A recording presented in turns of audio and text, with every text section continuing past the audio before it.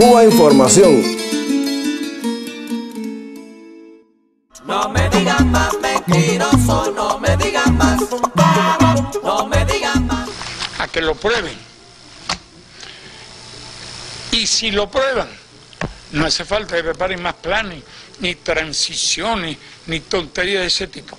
Si ellos prueban que yo tengo una cuenta en el exterior de 900 millones, de un millón, de 500 mil, de 100 mil, de 10 millones, de un dólar, yo renuncio al cargo y a las funciones que estoy desempeñando.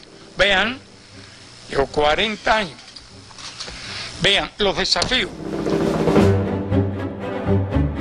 Así se dirigía Fidel Castro en 2006 a los dueños de la revista estadounidense Forbes, que había incluido al líder cubano en su lista de multimillonarios mundiales.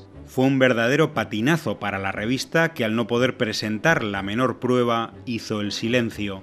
Eso sí, ya no volvió a incluir al mandatario cubano en su lista anual.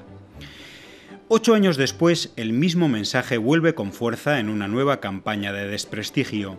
Hace unos días leíamos en decenas de diarios titulares como La vida de lujos de Fidel Castro en Cuba queda al descubierto o Fidel, una vida de Marajá, para promocionar el libro La vida oculta de Fidel Castro, que recoge las acusaciones de Juan Reinaldo Sánchez, exmiembro del equipo de seguridad de Fidel y quien fuera sancionado a comienzos de los años 90.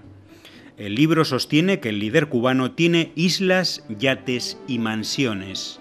La historia que ningún idealista quiere escuchar, leemos. El paraíso socialista está gobernado por hombres que viven con lujos inimaginables para muchos líderes de países capitalistas. En este enésimo intento de ensuciar la imagen de Fidel Castro, los embustes son clamorosos nos dice que el expresidente cubano vive en la isla privada de Cayo Piedra. Falso. Esta es una casa del Estado cubano destinada durante años a la recepción de personalidades políticas, especialmente de Estados Unidos, a quienes por discreción y para evitar las sanciones del bloqueo no era conveniente recibir en la isla de Cuba, en cualquier caso una propiedad del Estado cubano y no de Fidel Castro es exactamente el mismo argumento de la revista Forbes, que al reconocer que la estimación de estas fortunas es un asunto muy complicado, decidió con total descaro asignar a Fidel un porcentaje del Producto Interno Bruto del país como propiedad suya. El libro sostiene también que Fidel tiene una veintena de residencias en Cuba. Falso.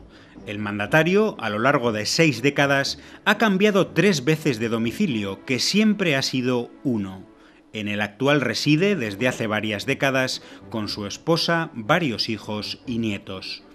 Las supuestas 20 residencias serían a lo sumo las casas de protocolo del Estado cubano para recibir a invitados internacionales.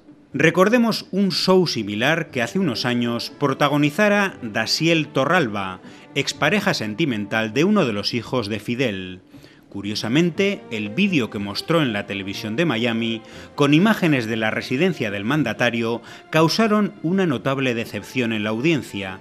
Lejos de visibilizar sus lujos, mostraron la sencillez de sus condiciones de vida. Reinaldo Sánchez asegura en el libro que entre las propiedades de Fidel estaría un lujoso yate. La única fotografía que aporta, eso sí, es una del mandatario en un pequeño bote artesanal de pesca, una de sus bien conocidas aficiones. Otra prueba de ostentación sería que Fidel solía trasladarse en un Mercedes-Benz. Cierto, este automóvil puede contemplarse en la película Comandante de Oliver Stone, un vehículo blindado de modelo antiguo y gama baja, absolutamente funcional y sin apenas elementos de confort.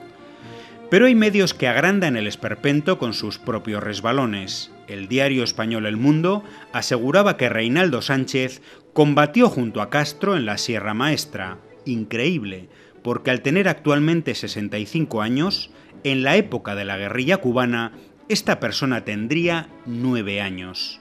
El diario además lo presenta como el escolta favorito de Castro durante 17 años, un nuevo embuste. Esta persona fue uno más de un amplio equipo de seguridad que fue rotando por funciones tan diversas como la seguridad del presidente, los llamados grupos operativos o la escolta de familiares, pero de ninguna manera fue su escolta favorito. Los disparates de este personaje son clamorosos, que Fidel dirigía operaciones de cocaína, que guardaba diamantes en una caja de cigarros ya que tenía la mentalidad de un pirata del Caribe, o que quiso convencer al escritor Gabriel García Márquez para que se lanzase a tomar el poder en Colombia. Para adornar el cuento, endosa al líder cubano excentricidades de toda índole, algunas son disparates, pero entre las extravagancias incluye también que el exmandatario se mueve siempre con una escolta de 10 custodios.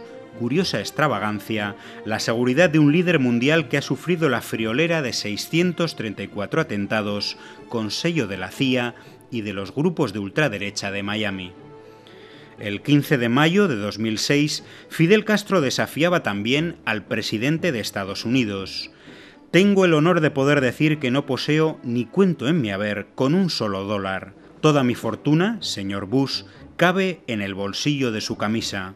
Desafío a la CIA, a los 33 organismos de inteligencia de Estados Unidos, a los miles de bancos que hay en el mundo, a que prueben que tengo, aunque sea solo, un dólar. Hoy, cuando vuelven campañas de desprestigio como esta, sus palabras siguen esperando respuesta.